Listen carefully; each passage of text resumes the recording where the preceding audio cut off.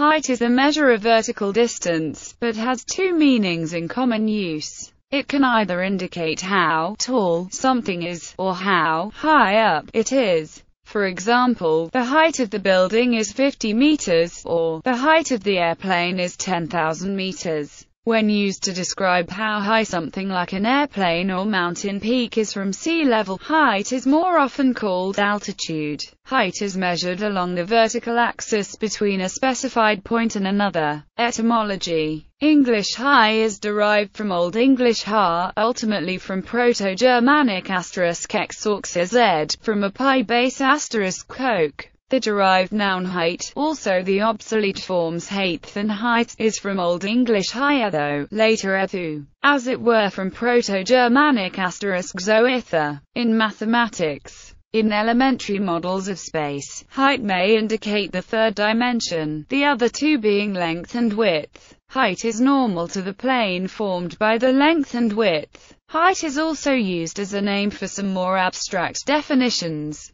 These include the altitude of a triangle, which is the length from a vertex of a triangle to the line formed by the opposite side, a measurement in a circular segment of the distance from the midpoint of the arc of the circular segment to the midpoint of the line joining the endpoints of the arc. In algebraic number theory, a height function is a measurement related to the minimal polynomial of an algebraic number. Among other uses in commutative algebra and representation theory, in geology, although height is relative to a plane of reference, most measurements of height in the physical world are based upon a zero surface known as sea level. Both altitude and elevation, two synonyms for height, are usually defined as the position of a point above the mean sea level. One can extend the sea level surface under the continents. Naively, one can imagine a lot of narrow canals through the continents.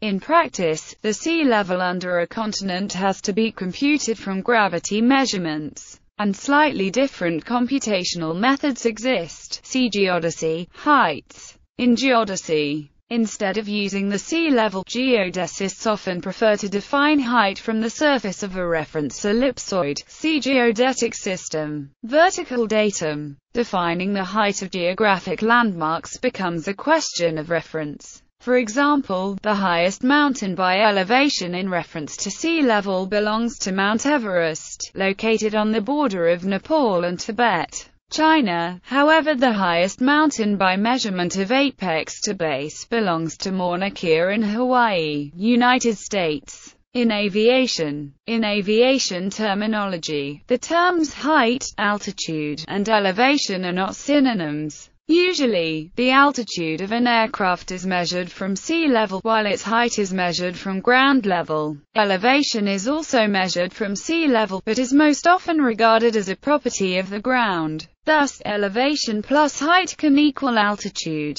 But the term altitude has several meanings in aviation. See altitude in aviation. In human culture, human height is one of the areas of study within anthropometry. While height variations within a population are largely genetic, height variations between populations are mostly environmental. The United Nations uses height to monitor changes in the nutrition of developing nations. In human populations, average height can distill down complex data about the group's birth, upbringing, social class, diet, and healthcare system.